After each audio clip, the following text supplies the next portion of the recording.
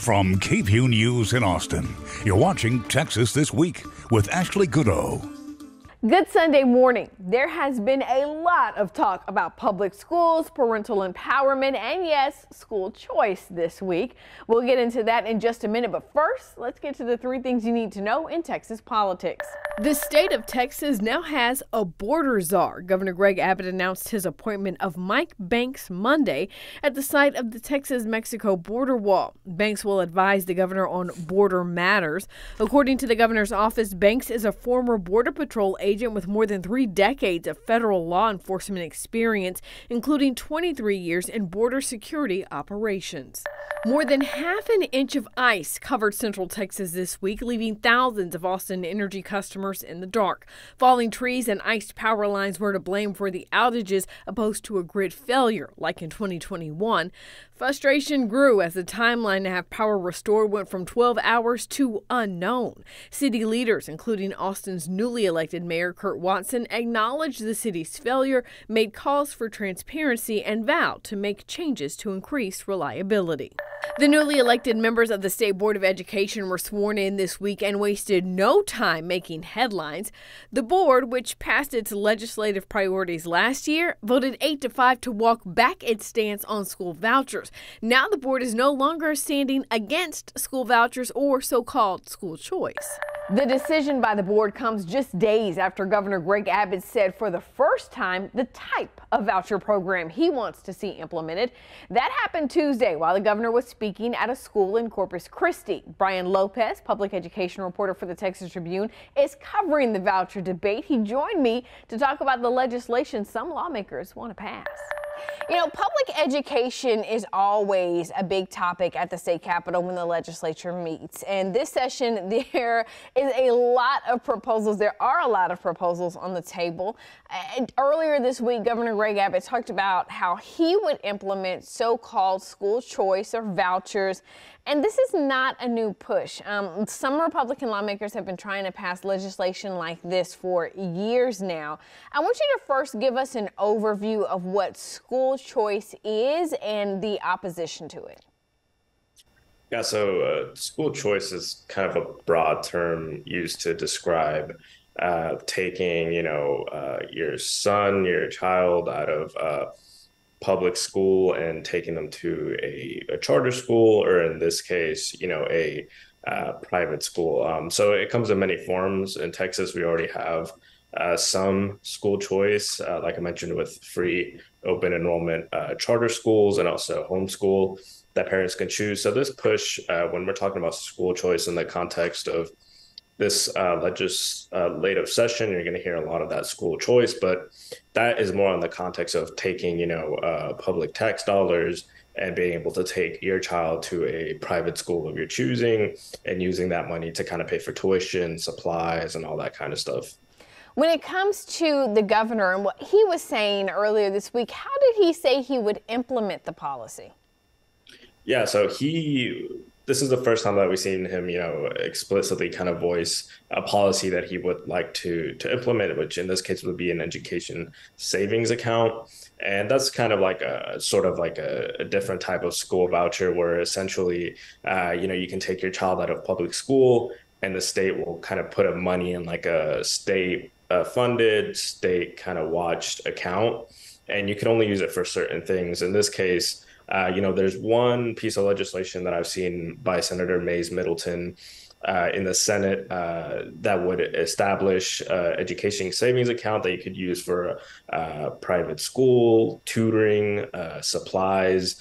Um, you know, even in some cases for higher education. I'm not sure how that would work out yet, but that, that's something that uh, Middleton alluded to. Um, and like I mentioned earlier, you know, these uh, this under his bill, would, you would get about ten thousand dollars of uh, state money, taxpayer money uh, to send your child to, you know, a school of your choosing. Some Texas Republicans have long advocated for a school voucher program, allowing tax dollars to follow a student rather than going directly to the public school district. The proposal has gotten a lot of pushback in years past, but this legislative session, there is an even stronger push to pass the policy. Let's continue our conversation on the voucher debate with Brian Lopez, public education reporter for the Texas Tribune. When we talk about the opposition to this, and there's plenty of it, what's some of the main arguments?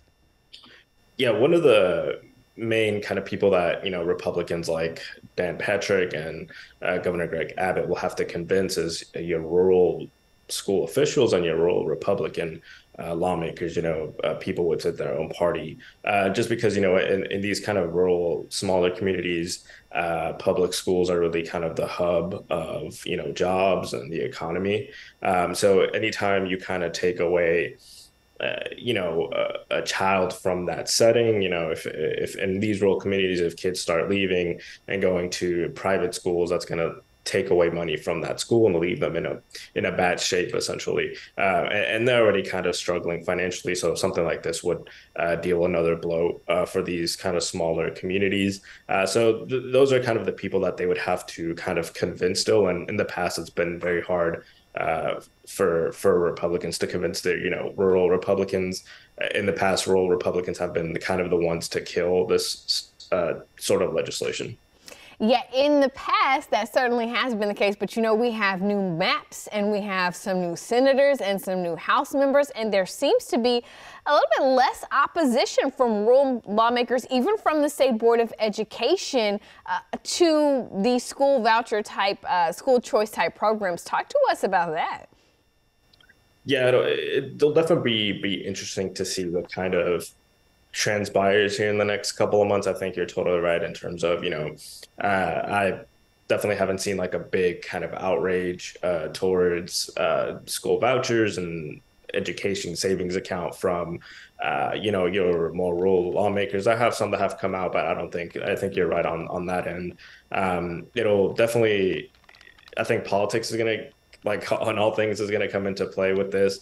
Uh, you know, one of the the proposals, uh, you know, that I've been hearing from from lawmakers, you know, is saying, you know, another big issue is teacher raises. So, you know, a lot of other lawmakers believe that you can kind of link the two. You know, we'll, we'll get you more money for public schools and, and teacher raises, but you know, you're going to have to agree to this kind of um, uh, education savings account or whatever at the end might be. Uh, another thing that may be popular with uh, your rural lawmakers is that um, Dan Patrick has alluded that he would carve out kind of uh, those rural schools from these areas. So we're kind of going to have to see how that works out too. Uh, right now, it's kind of really early to tell uh, how this will kind of take shape. Yeah, you you alluded to this just now, but again, this conversation is happening at a time when the teaching profession is really hurting. Educators are leaving, a lot of them because of the pay, but also because of the workload. You know, talk to us about the other conversations happening. We have so much of a budget surplus. It seems like teachers would be able to get some raises this session. Yeah, so right now there's a positive conversations around teacher raises and increasing public school uh, uh, budgeting a little bit. Um, I think what will happen here is kind of a, a difference of ideas or ideology how to get there. Uh, both Republicans and Democrats, you know, kind of agree that uh, you know more money needs to be kind of pumped into public schools and especially specifically uh, teacher raises. Um, you know, most recently, Representative um, Democrat uh, James Talarico had you know a proposal of raising uh, teacher raises across the board by about fifteen thousand uh, dollars. You know, when talking to Republicans uh, and even some Democrats, you know, they don't know how feasible that number is going to be once you start negotiating. And then also, some would rather increase uh, how much you know a school gets per student. Uh, right now, a school it, uh, the basic funding is six thousand one hundred and sixty dollars that a school gets, and that's like weighted into different averages. Uh, but you know, there's one proposal um, that would increase that to about $7,000 and that would be adjusted to inflation. And that would also help with teacher raises because anytime you increase that basic uh, per student funding, uh, 30% of that additional revenue needs to go to employee raises. So I think that that teacher raises, employee raises in public schools has a good chance of, uh, you know, being signed by Governor Abbott um, later this spring. Uh, it just will depend how exactly lawmakers will decide to get there. You can find a link to Brian's stories on school vouchers in the Texas This Week section of KVUE.com. That's Texas This Week.